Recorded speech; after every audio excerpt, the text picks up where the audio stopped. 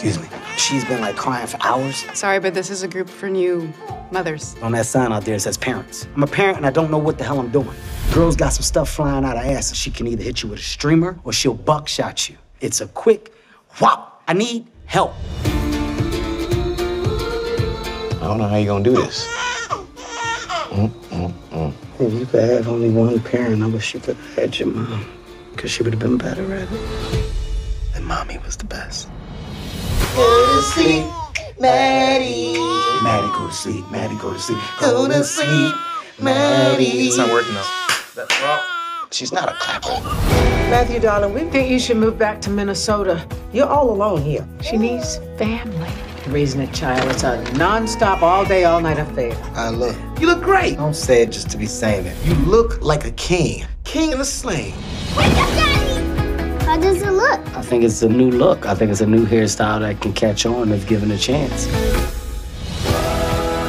Mr. Logelin, Madeline doesn't have a mother to model after. I am well aware of what my daughter doesn't have. You think you can do this, but you can't. No, man, you're right. I can't do it. But you know what?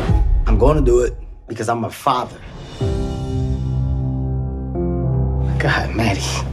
You Thank God today I got there in time to hold her hand. With Liz, I didn't get to hold her hand. She was gone. and you It's always just us. Other people have more people. walk round your I just want to do what your mom would have wanted me to do. I promise there You're trying to make everything perfect. but we don't have any control. Oh. Wherever you are, I want to go there. Wherever you are, I want to go there too. Somebody's cutting onions or something close to us or something. I don't know.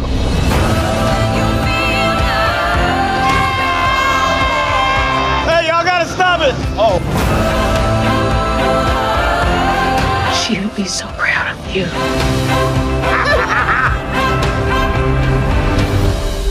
Two kisses. One for mommy. One for me. hold on to me Don't be scared. Oh!